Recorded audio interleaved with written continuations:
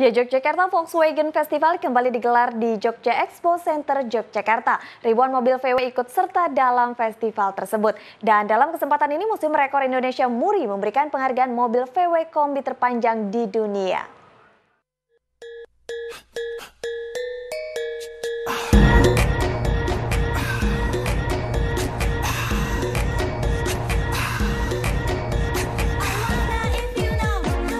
Para pecinta mobil Volkswagen di Indonesia kali ini dibanjakan dengan event internasional yang digelar di Jogja Expo Center Yogyakarta.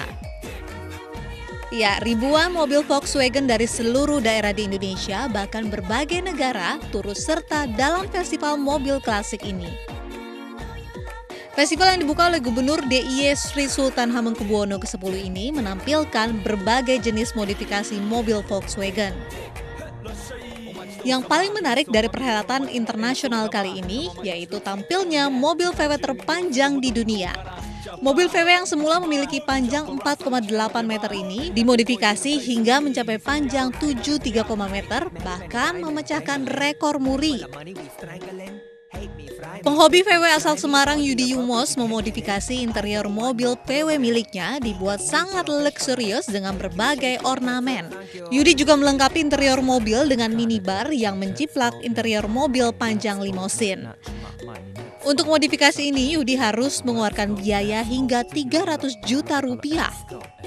Mobil ini ya karena uh, berhasil Mbak Windo uh, Dakota ini mempunyai bentuk yang unik sehingga banyak sekali orang suka dengan tipe Dakota ini. Makanya uh, saya rubah bentuknya dari berhasil by window menjadi Dakota.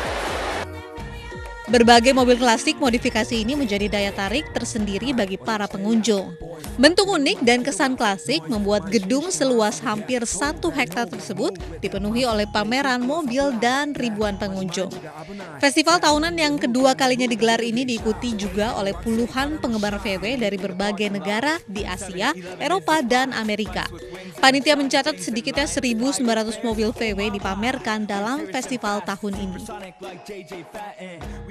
Dari Bantul Yogyakarta, Trisna Purwoko, MNC Media memberitakan. 啊，妈的！一再作死。